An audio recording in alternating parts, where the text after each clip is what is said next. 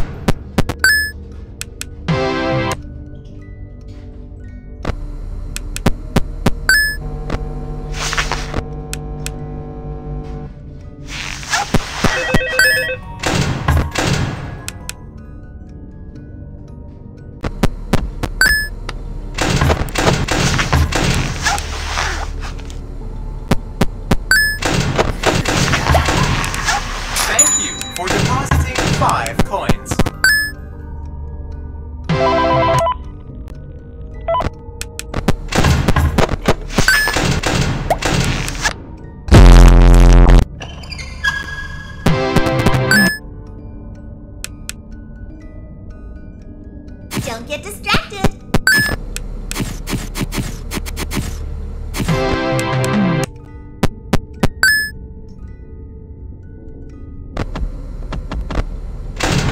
She's five points. Thank you for depositing five points.